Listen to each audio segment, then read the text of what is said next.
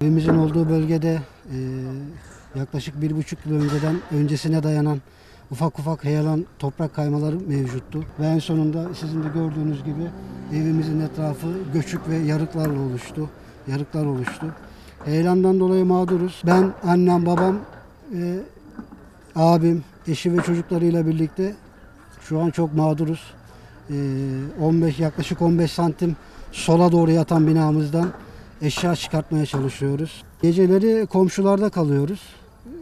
Hemen yan tarafımızda komşu var. Annem babam orada kalıyorlar. Ben diğer komşumda kalıyorum. Abim farklı bir komşuda kalıyor. Şu an parça parça bölündük. Kaç gündür dışarıdasınız? Yaklaşık 5 gündür dışarıdayız. Ve mağduruz.